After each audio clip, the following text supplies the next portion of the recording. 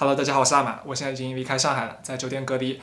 那之后我可能会拍一个 vlog，和大家好好聊聊我这段时间的经历，真的是终身难忘啊。那今天就先不说了，今天跟大家分享一个阴阳师的最新情报，就是我们已经传了很久的第四大阴阳师家族，现在确认了是平氏。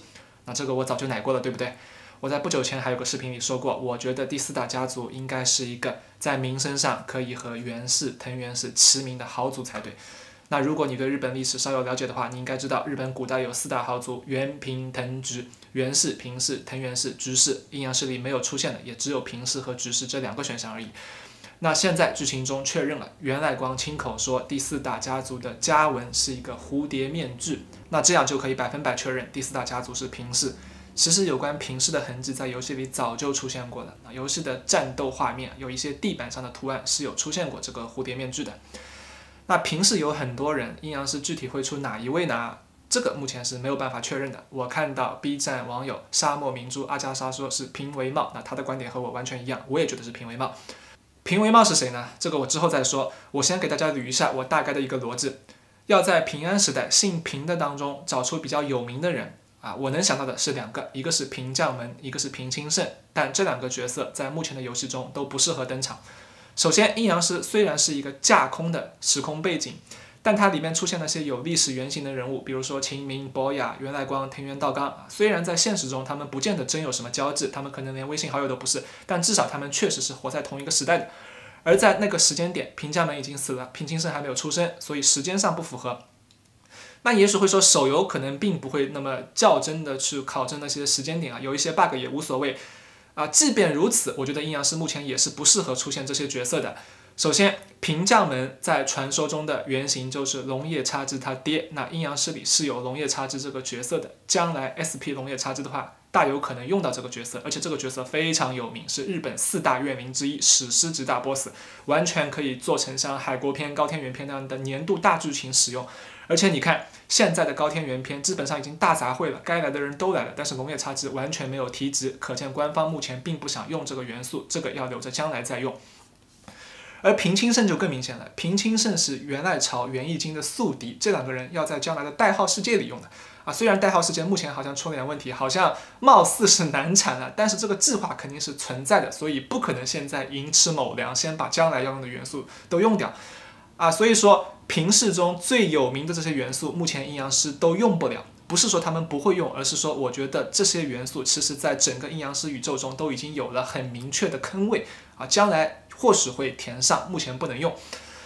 那么把这两个顶流的去掉，在二线人物中找，最好还是和呃秦明、袁来光他们活在同一个时代的，那最合适的一个选项就是平为茂了。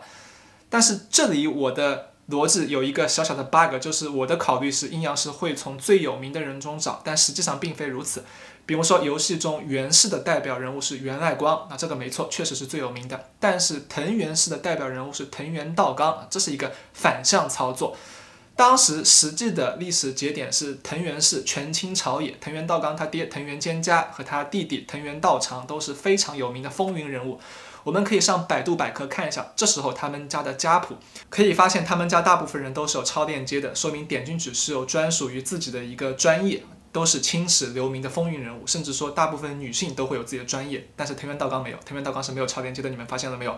说明藤原道纲其实是他们家几个儿子中混得最差的、最 low 的、最默默无闻的，但偏偏阴阳师挑他当藤原氏的代表人物，所以如果说阴阳师对于平氏的选择逻辑是像。藤原道纲那样的挑家里最无名的人，那我就猜不到会是谁了，可能我听都没有听说过。但如果是像源赖光那样挑家族中最有名的，那么我觉得平为茂可能是最好的选择。平为茂上有两个点，我觉得或许可以和现在的阴阳师剧情产生关联。首先，他是由伯父平真胜收养的。平真胜是谁呢？平真胜就是当年杀掉平将门的人，而平真胜的爹平国香又是被平将门杀掉的，所以他们家和平将门之乱有着非常密切的关联。如果阴阳师将来真的打算出 SP 龙叶插枝，涉及到日本四大怨灵篇的话，那么这段剧情会和这个第四大阴阳师家族有非常紧密的关系。你想，阴阳师好不容易推出一个家族，难道只在八岐大蛇篇中用用一次吗？他之后不用了吗？将来可以用，那是不是说这个角色出的价值会更加之大呢？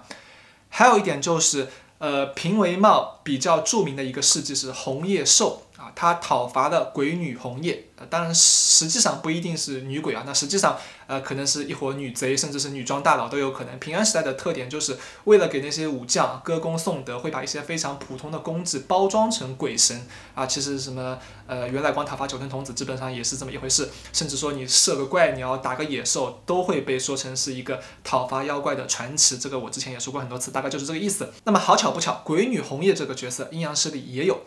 更巧的是，他竟然在高天元篇的剧情中出现了。大家不知道有没有在剧情对话中看到，是有他专门的登场的。那你要知道，高天元篇人物已经塞得够满了，其实已经人多的已经放不下了，有必要让鬼女红叶登场吗？你觉得有必要吗？我个人觉得其实是没有必要的。那么这时候让他登场，肯定是有用处嘛，不然的话不可能说啊，只是为了凑人数凑一个鬼女红叶。那你为什么不凑青之呢？对吗？你为什么不凑鱼之虫呢？啊，偏偏凑鬼女红叶？那我觉得。他登场是不是意味着他将来会遇到平为茂啊？这样的话可以引出第四大阴阳师家族的后人登场。我觉得这里可能存在的一条引线啊，所以冲着呃他和平将门之乱有关，可以为将来的 SP 龙夜叉之剧情服务，以及他跟鬼女红叶有关，而鬼女红叶又在高天元篇中登场了这两点信息来看。我觉得啊，第四大阴阳师家族现在的传人是平为茂的概率非常之大，而且我觉得他可能会在不久的将来就登场。另外还有点，我在上个视频中说过，可能并不是那么靠谱的逻辑是，我觉得呃四大家族应该可以分别对应四神兽青龙白虎朱雀玄武，因为他说到当年封印八岐大蛇之后，这里就变成了平安京嘛，那平安京的建立就是基于四象结界嘛。而根据四人的配色啊，你看秦明就是青龙，元来光就是白虎，藤原道纲是玄武，那么剩下的那个平为嘛，我觉得他应该对应的是朱雀。